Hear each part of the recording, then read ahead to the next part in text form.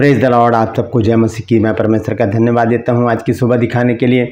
एक और दिन परमेश्वर ने हम सबके जीवन में जोड़ दिया। हम परमेश्वर को कोटि कोटि धन्यवाद दें। एक नया संदेश लेकर मैं आपका दोस्त, पास्टर राज मैसी, आपके सम्मुख उपस्थित हूँ। और आज का संदेश जो है वो भी बहुत महत्वपूर्ण है। और आज कुछ आज्ञाओं के विषय में मैं बताऊँगा, क्योंकि पूरी बाइबल आज्ञाओं से भरी हुई है। उत्पत्ति से लेकर प्रकाशित वाक्य तक जब हम पढ़ते हैं पूरी बाइबल को तो सिर्फ़ दस आज्ञाएँ ही नहीं हैं हमारे लिए। बाइबल में लगभग छः हज़ार चार सौ अड़सठ आज्ञाएँ हैं। ज़्यादा भी हो सकते हैं, इससे कम भी हो सकते हैं, लेकिन अटकल ये है कि छः हज़ार चार सौ अड़सठ आज्ञाएँ बाइबल में पाई जाती हैं। तो आज मैं आपको नीति वचन में दी गई छोटी छोटी दस बारह बारह आज्ञाओं को बताऊँगा, जिनका प्रतिफल बहुत बड़ा है।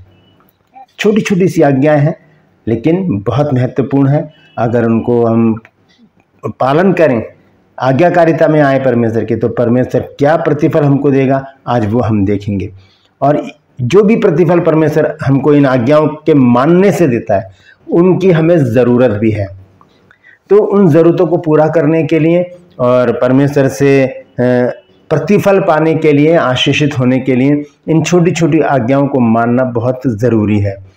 तो अभी कुछ दिनों पहले हम जब फैमिली प्रेयर करते हैं, तब इस वचन को पढ़ रहे थे, हम नीति वचन को तीन अध्याय को, तब हमने इस बात को देखा, तब मैंने सोचा कि मैं इस पर वीडियो ज़रूर बनाऊँगा, और ये बहुत ही महत्वपूर्ण संदेश है, इसे पूरा सुनिए। शेयर भी कीजिए ताकि और भी लोग इन बातों को जान सकें।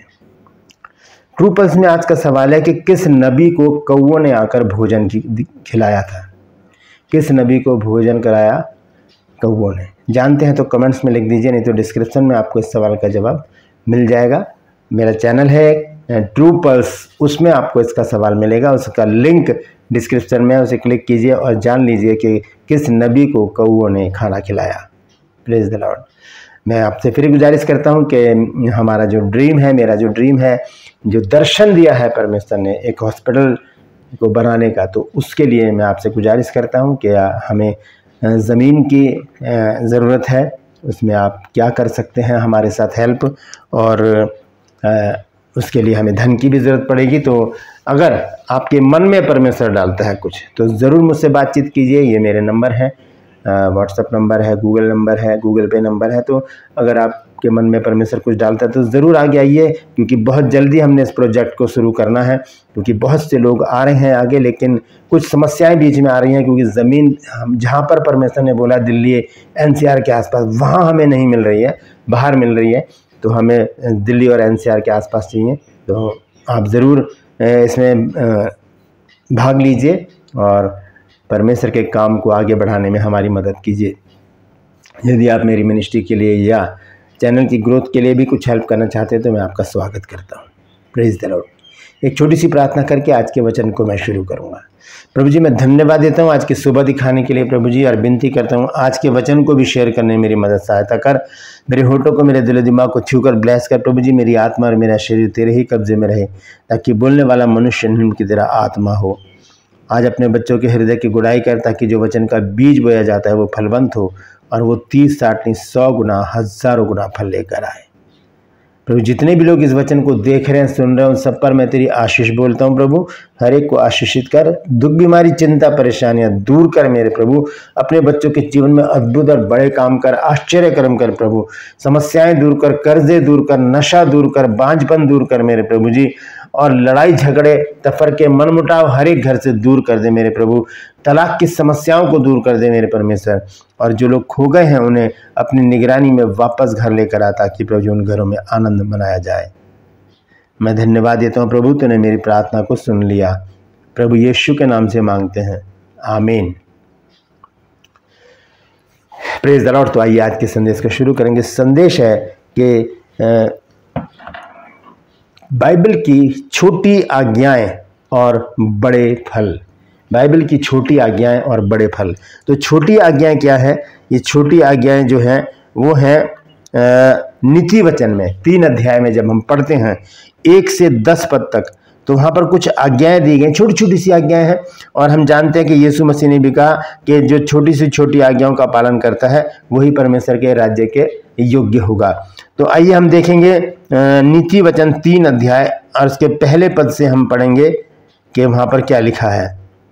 पहले पद से दस पद तक। यहाँ पर इसी चैप्टर पर आज हम रहेंगे, क्योंकि प्रचार तीन तरह से किया जाता है। एक तो चैप्टर पर, एक वर्ष पर और एक पर्सनैलिटी पर।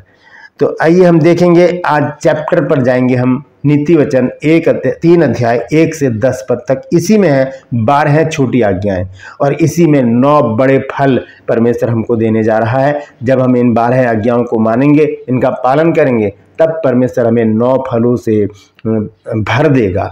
हम पर आशीषित हाथ रखेगा और हमारे जीवन में बड़े काम करेगा। ये वो वो आत्मिक फलों की बात नहीं कर रहा हूँ मैं, जो गलातियों की पुस्तक में लिखे हैं, वो अलग हैं, लेकिन यहाँ पर जो हम आज देख रहे हैं, ये बहुत ही महत्वपूर्ण है। ये हम सब की ज़रूरत है। तो आइए शुरू करते हैं। सबसे पहले देखेंगे नीति वचन तीन अध्याय, एक पद में यहाँ लिखा है, हे मेरे पुत्र, मेरी शिक्षा को ना भूलना।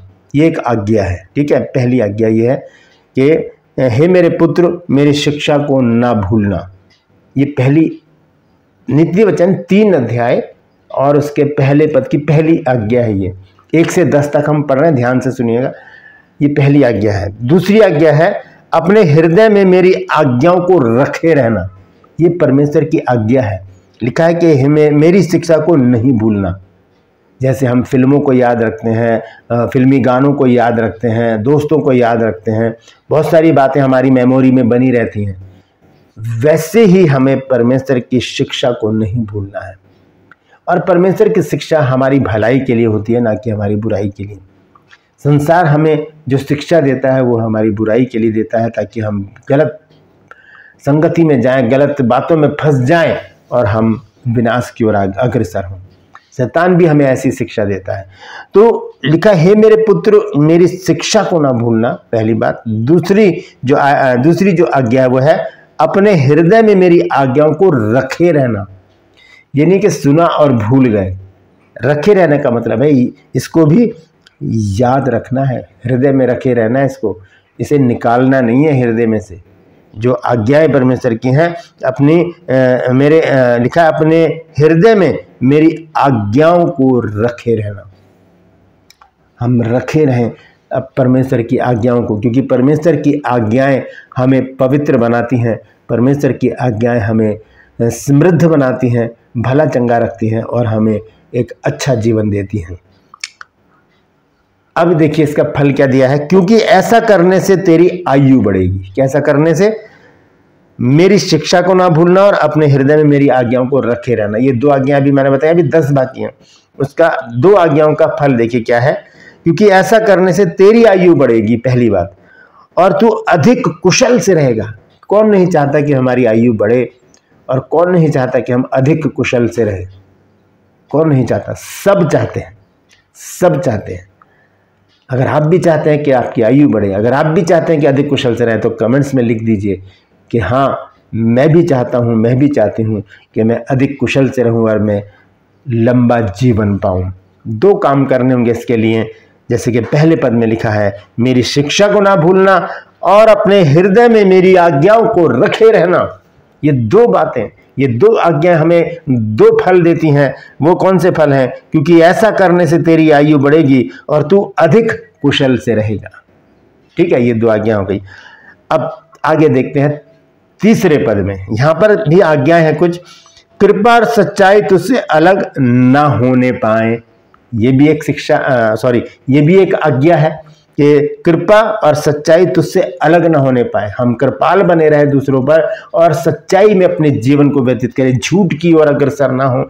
झूठ हमसे दूर रहे। झूठों से हम दूर रहे। हमारे मुँह से झूठी बातें ना निकले। हम वायदे करें तो पक्के वायदे करें। झूठ किसी से भी ना बोले। तो लिखा है, कृपा और सच्चाई तुझसे अलग ना होने पाए, वरन उनको अपने गले का हार बनाना। ये चौथी आज्ञा है। तीसरी आज्ञा कौन सी है? कृपा और सच्चाई तुझसे अलग ना होने पाए। चौथी आज्ञा है, वरन उनको अपने गले का हार बनाना। और पांचवी आज्ञा है, और अपने हृदय रूपी पटिया पर लिखे रहना। ये लिखे रहने का मतलब है, ये मिटे नहीं। ये हमारी, हमारे हृदय में लिखी रही ये बातें। कृपा और सच्चाई तुझसे अलग ना होने पाए, वरन उनको अपने गले का हार बनाना और अपने हृदय रूपी पटिया पर लिखे रहना तीन आज्ञा यहाँ पर है। दो मैंने पहले पढ़ दी, पहले पद में।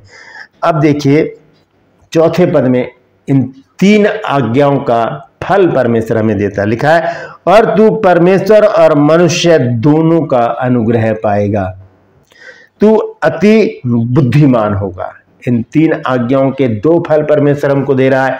और वो क्या है कि तू मनुष्य परमेश्वर और मनुष्य दोनों का अनुग्रह पाएगा। मनुष्य भी हम पर अनुग्रहित रहेंगे और परमेश्वर भी हम पर अनुग्रह पर, अनुग्रह अनुग्रह पर अनुग्रह करता रहेगा। कब? जब हम इन तीन बातों को अपने जीवन में उतारेंगे। वो कौन सी बातें हैं? तीसरे पद में लिखी हैं, नीति वचन तीन अध्याय के तीसरे पद में, कृपा और सच्चाई तुझसे अलग ना होने पाए, वरन उनको अपने गले का हार बनाना और अपने हृदय रूपी पटिया पर लिखना। ये तीन बातें। दो मैंने पहले पद में पढ़ी, तीन मैंने तीसरे पद में पढ़ी। अब पाँचवें पद में देखिए, कुछ आज्ञाएँ और हैं। पाँचवें पद में लिखा है कि तू अपनी समझ का सहारा ना लेना। दोस्तों, जब हम अपनी समझ का सहारा लेते हैं तो ज़रूरी नहीं कि हम सक्सेस हों, ज़रूरी नहीं कि हम कामयाब हो जाएँ या भला ही हो हमारे साथ। ऐसा नहीं है। यहाँ पर लिखा है कि तू अपनी समझ का सहारा ना लेना, वरन संपूर्ण मन से यहुआ पर भरोसा रखना। यहाँ पर लिखा है कि तू अपनी समझ का सहारा ना लेना, वरन संपूर्ण मन से यहोवा पर भरोसा रखना। संपूर्ण मन यानी पूरे मन से, अधूरे मन से नहीं, बहुत से लोग अधूरे मन से परमेश्वर के ऊपर भरोसा रखते हैं और फिर उसका फल उनको नहीं मिलता।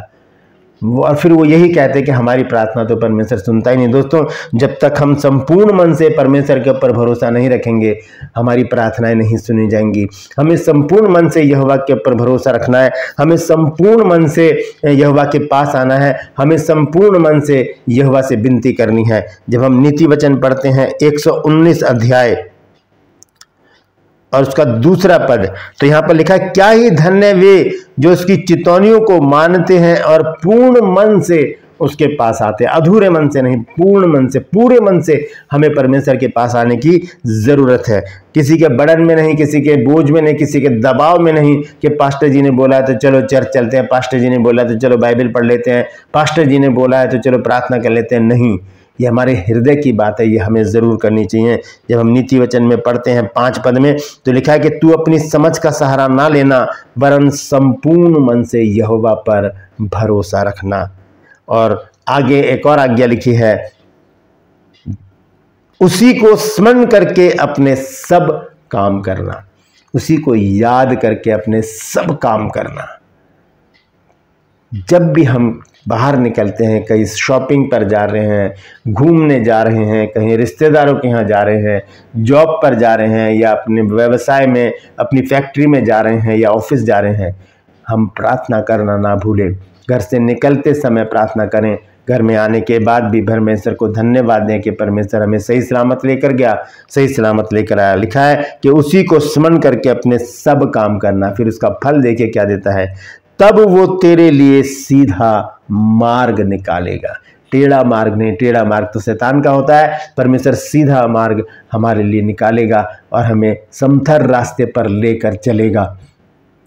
तीन काम करने हैं। पहला काम क्या है? तू अपनी समझ का सहारा ना लेना, वरन संपूर्ण मन से यहोवा पर भरोसा रखना। उसी को स्मरण करके अपने सब काम करना है। सब काम करने एक दो नहीं करने, कुछ छोड़ नहीं देने, कुछ बाकी नहीं रखने सारे कामों की शुरुआत हमें परमेश्वर को धन्यवाद देकर करनी चाहिए। चाहे हम मकान बना रहे हों, चाहे हम फैक्ट्री लगा रहे हों, चाहे हम नया व्यवसाय शुरू कर रहे हों, रेस्टोरेंट शुरू कर रहे हों, हम दुकान खोल रहे हों कोई, या हमने कोई वाहन लिया हो व्हीकल लिया हो, कोई स्कूटी ली हो, कार ली हो, कुछ भी हमने खरीदा हो, हम पहले प्रार्थना करें उसी को स्मरण करके अपने सब काम करें और लिखा, अपनी दृष्टि में बुद्धिमान ना होना। सॉरी उसी को स्मरण करके अपने सब काम करना, तब वो तेरे लिए सीधा मार्ग निकालेगा। ये छह पद में मैंने पढ़ा है। अब देखते हैं, सातवें पद में कुछ और आज्ञाएँ हैं। अपनी दृष्टि में बुद्धिमान ना होना, पहली बात, यहवा का भय मानना, दूसरी बात, और बुराई से अलग रहना। तीसरी बात, ये तीन आज्ञाएँ फिर से दी हैं इसमें सुलेमान ने। वो कहता है कि अपनी दृष्टि में बुद्धिमान ना होना। जब हम अपनी दृष्टि में बुद्धिमान होते हैं तो हम परमेश्वर को सेकंड कर देते हैं, क्योंकि बुद्धिमान तो परमेश्वर ही है। बुद्धि परमेश्वर हमें देता है, लेकिन सबसे ज़्यादा बुद्धि तो परमेश्वर के पास है, क्योंकि उसने अपनी बुद्धि से सारी सृष्टि की रचना की है। तो यह लिखा है कि अपनी दृष्टि में बुद्धिमान नहीं होना कि मैं बहुत बुद्धिमान हूँ, मैं बहुत समझदार हूँ, मुझसे ज़्यादा वचन कोई नहीं जानता, मुझसे ज़्यादा बड़ा कोई नहीं है, मुझसे ज़्यादा पैसे वाला कोई नहीं है। मतलब अपनी दृष्टि में बुद्धिमान बनने की ज़रूरत नहीं है हमको, यहाँ पर यह आज्ञा परमेश्वर ने हमको दी है। और आगे लिखा है, यहवा का भय मानना, यहवा का भय मानना, क्योंकि यहवा का भय जब हम मानते हैं तो लिखा यहवा का भय मनुष्य को बुराई से दूर रखता है। तो जब हम परमेश्वर का भय मानेंगे, यहवा का भय मानेंगे तो हम बुराई से दूर रहेंगे। और तीसरी तीसरी आज्ञा लिखी है, बुराई से अलग रहना। बुराई से अलग रहना। बुराई कौन है? बुरे लोग। बुरी संगति, बुरे विचार हर एक बुरी बात जो हमें बुराई की ओर खींच कर लेकर जाती है, हमें उनसे अलग रहने की आज्ञा दी गई है। तीन आज्ञा यहाँ पर दी हैं दोस्तों। ध्यान से सुनिए, अपनी दृष्टि में बुद्धिमान न होना, यहवा का भय मानना और तीसरी आज्ञा, बुराई से अलग रहना। अब इसका फल देखिए क्या है। इसका फल है, ऐसा करने से तेरा शरीर भला चंगा रहेगा। ऐसा करने से तेरा शरीर भला चंगा रहेगा और तेरी हड्डियाँ भी पुष्ट रहेंगी। तेरी हड्डियाँ भी पुष्ट रहेंगी। ये इसका प्रतिफल है, ये आज्ञाओं का प्रतिफल है, जो आज्ञा परमेश्वर हमको इस वचन में दे रहा है, उसके साथ साथ हमें बता भी रहा है कि अगर ऐसा करोगे तो मैं ऐसा करूँगा तुम्हारे साथ। साफ़ लिखा है यहाँ पर, एक से दस पद तक जब हम पढ़ते हैं तो साफ़ रीति से लिखा है कि ऐसा करो तो मैं भी ऐसा तुम्हारे साथ करूँगा। लिखा है, ऐसा करने से तेरा शरीर भला चंगा और तेरी हड्डियाँ पुष्ट रहेंगी, ताकतवर रहेंगी, हड्डी नहीं टूटेगी, हम भले चंगे रहेंगे। और क्या होगा? हम ऐसी परिस्थिति में परमेश्वर की महिमा करेंगे। नौ पद में देखते हैं और आज्ञा है अपनी संपत्ति के द्वारा और अपनी भूमि की पहली उपज दे देकर यहोवा की प्रतिष्ठा करना। दान दक्षिणा करके दशमांश देकर परमेश्वर की प्रतिष्ठा करनी है। लिखा है अप, अपनी संपत्ति के द्वारा अपनी भूमि की पहली उपज दे देकर, यानी लिखा देकर, एक बार नहीं बार बार हमें परमेश्वर के भवन में उसके लिए दान को लेकर आना है, क्योंकि हम जब पढ़ते हैं लू का छः अध्याय और उसके अड़तीस पद में तो देखिए वहाँ पर क्या लिखा है। यह लिखा है कि दिया करो तो तुम्हें भी दिया जाएगा, लोग पूरा नाप दबा दबा कर और हिला हिला कर और उभरता हुआ तुम्हारी गोद में डालेंगे, क्योंकि जिस नाप से तुम नापते हो, उसी से तुम्हारे लिए नापा जाएगा। तो लिखा है, नीति वचन में जब हम वापस आते हैं तीन अध्याय के नौ पद में तो यहाँ लिखा है कि अपनी संपत्ति के द्वारा और अपनी भूमि की पहली उपज दे देकर यहवा की प्रतिष्ठा करना। इस प्रकार तेरे खत्ते भरे पूरे रहेंगे और तेरे रस कुंडों में नया दाख मधु उमंडता रहेगा। ये आज्ञाएँ और उसके साथ प्रतिफल परमेश्वर साथ साथ बताता चला गया है।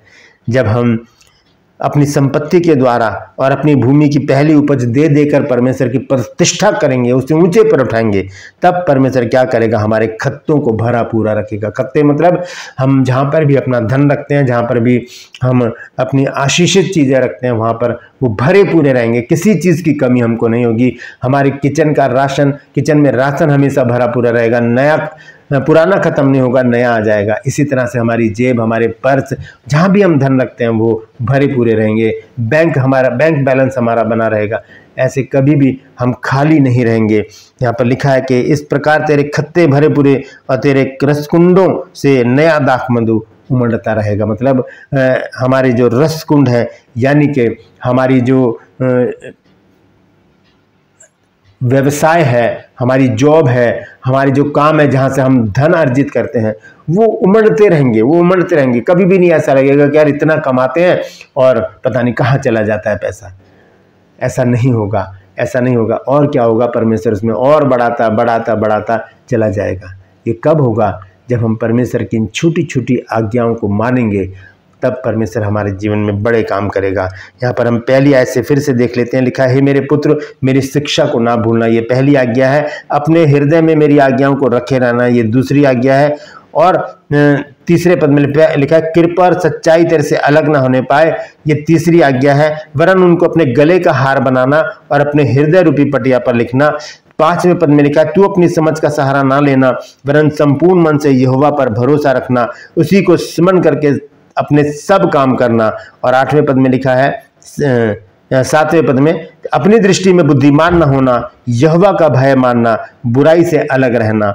और नवे पद में लिखा है कि अपनी संपत्ति के द्वारा और अपनी भूमि की पहली उपज दे देकर यहवा की प्रतिष्ठा करना। ये बारह छोटी छोटी आज्ञाएँ हैं दोस्तों, आप पढ़ सकते हैं। बारह आज्ञाएँ हैं, इनके प्रतिफल परमेश्वर ने नौ प्रतिफल हमको दिए बड़े बड़े वो क्या है?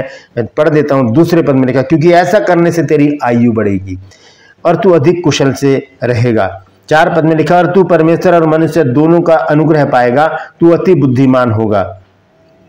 छह पद में लिखा है तब वह तेरे लिए सीधा मार्ग निकालेगा। आठ पद में लिखा है ऐसा करने से तेरा शरीर भला चंगा और तेरी हड्डियाँ पुष्ट रहे, पुष्ट रहेंगी। और दस पद में लिखा है इस प्रकार तेरे खत्ते भरे पूरे रहेंगे और तेरे रसकुंडों में से नया दाख मधु उमड़ता रहेगा। तो ये छोटी छोटी सी आज्ञाएँ दोस्तों हमें माननी है और हम इन जब इन आज्ञाओं को मानेंगे परमेश्वर हमारी ओर दृष्टि करेगा और हमारी हमारी ओर दृष्टि करके हमें इन, बड़ी आशीषों से हमें भर देगा। ये नौ जो आशीषें हैं परमेश्वर की, नौ जो फल है, प्रतिफल है, वो परमेश्वर हमको दे देगा। शर्त यही है कि हम उसकी आज्ञाओं का पालन करें, जो नित्य वचन तीन अध्याय एक से दस तक हमने पढ़ी हैं। प्रेज द लॉर्ड परमेश्वर इन वचनों के द्वारा हम सबको आशीष दे यदि आज आपने कुछ नया सीखा है तो कमेंट्स में ज़रूर लिखिएगा। और बताइए कि आपने आज क्या नया सीखा। यदि आप भी आपके मन में ऐसी बातें आ रही हैं तो ज़रूर लिखिएगा और इस वचन को शेयर कीजिए ताकि और भी लोग इन बातों को जान सकें। Praise the Lord true pulse मेरा दूसरा चैनल है, उसमें आज का सवाल है कि किस नबी को कौओं ने भोजन कराया था? जानते हैं तो कमेंट्स में लिख दीजिए, नहीं तो डिस्क्रिप्शन में आपको ट्रू पल्स का एक लिंक मिलेगा, उसे क्लिक कीजिए और वहाँ पर आपको इस सवाल का जवाब मिल जाएगा। मैं आपसे गुजारिश करता हूँ, मेरे इन चैनल्स को सब्सक्राइब कीजिए बेलाइकन को दबाइए ताकि नोटिफिकेशन आपके पास पहुँचे। नया वीडियो, नई जानकारी बिना व्यवधान के आपके पास पहुँच। जाए मेरे वीडियोज़ को लाइक कीजिए और शेयर कीजिए और कमेंट्स बॉक्स में आकर मुझसे ज़रूर बातचीत कीजिए। ये मेरे नंबर है, मैं फिर से आपसे गुजारिश करता हूँ दोस्तों, क्योंकि दर्शन जो है वो पूरा ज़रूर होगा, क्योंकि बहुत सारे लोग जो हैं जो जुड़ गए हैं मेरे साथ और वो प्रार्थना कर रहे हैं, सभी प्रार्थना योद्धा इस विषय में प्रार्थना में लगे हैं, आप भी प्रार्थना कीजिए और यदि परमेश्वर आपके मन में कुछ डालता है तो ज़रूर आगे आइए, ताकि हम जल्दी से जल्दी इस कार्य को शुरू कर सकें। यदि आप मेरे चैनल के लिए और मेरी मिनिस्ट्री के ग्रोथ के लिए अगर कुछ हेल्प करना चाहते तो उसके लिए भी मैं आपका स्वागत करता हूँ। परमेश्वर इसके एवज में आपको अनगिनत आशीषित करेगा। प्रेज द लॉर्ड आज के लिए बस इतना ही। फिर मिलूँगा एक नए संदेश के साथ, एक नया वीडियो लेकर। तब तक के लिए मुझे इजाज़त दीजिए, लेकिन अपना और अपनों का ख्याल रखिए और याद रखिए, ये छोटी छोटी सी जो आज्ञाएँ हैं, ये हमारे लिए बहुत महत्वपूर्ण है, क्योंकि इन्हीं के द्वारा हमें बड़े बड़े प्रतिफल, बड़े इनाम परमेश्वर देता है। प्रेज द लॉर्ड परमेश्वर आप सबको आशीष दें।